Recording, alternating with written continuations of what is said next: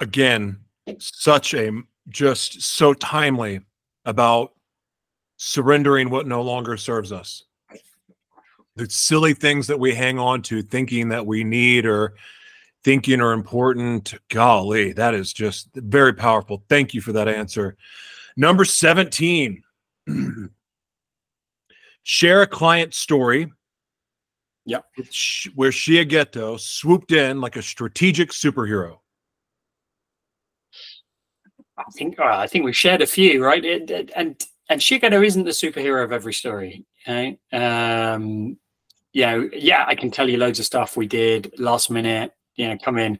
But I think some of the most powerful stuff um, comes from the clients themselves, right? We have one client that is so self-aware, they ask me or a member of my team to join their board meetings every month just to call out bad behavior and biases.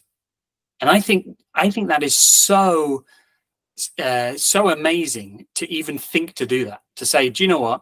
We don't it's not we don't trust ourselves but we know that sometimes we get a bit extravagant sometimes we sideline somebody in a meeting sometimes we say stuff that isn't based on fact. Having just someone who's independent in the room who who knows how to look out for these things is the best investment of our time and money.